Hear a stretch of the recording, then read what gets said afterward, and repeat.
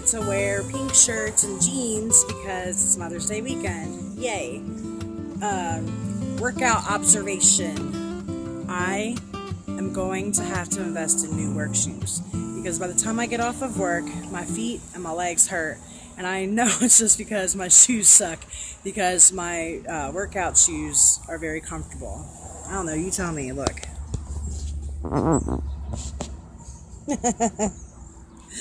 oh man. What do you call four blondes standing next to each other? A wind tunnel. Okay. What do you call a crate full of ducks? A box of quackers. Here's a good joke for you. What do you call this hairstyle? so now it's Saturday afternoon. It's about 1.30 in the afternoon. That gives me just enough time to get changed and go to the gym before Bobby has to go to work. But I kind of wanted to bring up the subject of um,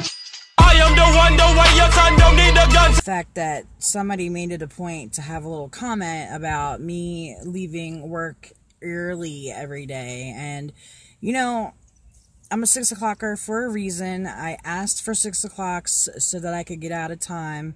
I mean, get out of work so that I would have enough time to get home and spend some time with my family, um, especially my husband, since he goes to work every day at three o'clock. Now, I don't mind if I'm scheduled at eight o'clock and I have to stay late for work and hell no to the no. Have Bobby bring the kids up to to IHOP or whatever at the end of the day. But you know, first off, I can't be a mom and a waitress at the same time. It just doesn't work. Um, Lily normally has tutoring and after school activities, so that doesn't put her out of school until four o'clock. So staying until four o'clock really, it's just a strain on my family. It's a strain on me. Um, in the last recent week, I've found that if I get out of work anywhere between 1 and 2, I can come home, I can get changed, I can go to the gym, and I can spend maybe a half hour with my husband. Um, maybe I'm foolish, maybe I'm blind. If any of you guys feel that I am not taking tables when you feel like I should, please come bring it to my attention uh, or pull me to the side and talk to me privately because I'm only human after all. I'm only human. I'm sick of everybody being a rat. You know, I don't go and I don't complain to the bosses about things that other people do unless I feel that is done directly to me. The last time I went to the office to talk to the bosses was a day that I felt like I was getting stiffed left and right and I wanted to cry about it. And you know, sure enough, it was just a mistake up at the register and some of my tips didn't get accounted for, you know, but unless the customer really has a problem with something, I don't go to management. I don't go to the big boss. I don't complain about things, you know, and it really, really bothers me that people have their comments and people feel that by running and telling little things, you know, a good day for me consists of coming at six o'clock and getting set up for the day. And when there's a transition at 8 o'clock, getting into my section, getting my section ready, checking my side work, making sure that we're stocked for the shift, and then working it all day until it's time to get cut. Now, if I happen to see that we're done with a rush at 11:30, 12 o'clock, yeah, I'm to start doing some of my stuff early. You want to know why? Because I feel like I earned it. When I come in at 6 and I'm out of there at 1 or even 2 in the afternoon, guess what? I've put in my 8 hours. If I'm somebody that came in at 8 o'clock and I'm expected to stay till 2 or 3 or 4, then 4 o'clock's my 8 hours.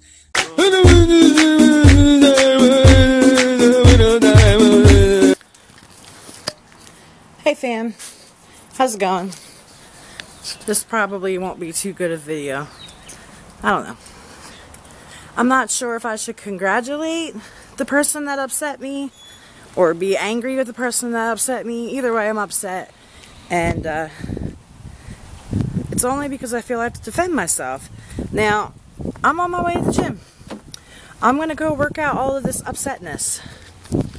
But, uh, have you ever recorded on your phone and it'll show you like a timer that goes down? So, like if you, if it shows five and you record for a minute, then it'll say four. It's only because your phone can handle so much, um, it only has so much length Is that the word? It can only record so much. So I got cut off in the middle of my rant.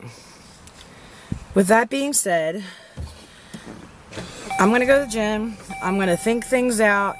And uh, I don't know if that rant earlier is going to make it to video, but workout observation before I even get to the gym. Shave. shave your armpits, shave your legs, and anything else that you feel that you want to be shaved.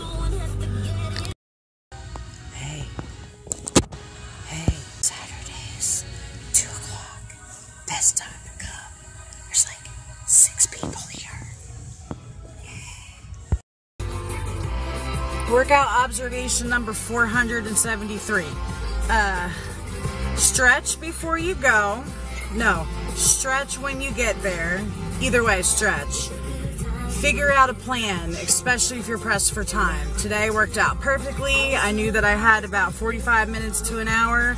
So I got there, I stretched, I did that stupid Stairmaster. Oh, before I did the Stairmaster, I tried the elliptical, and uh, why do I feel like I'm yelling?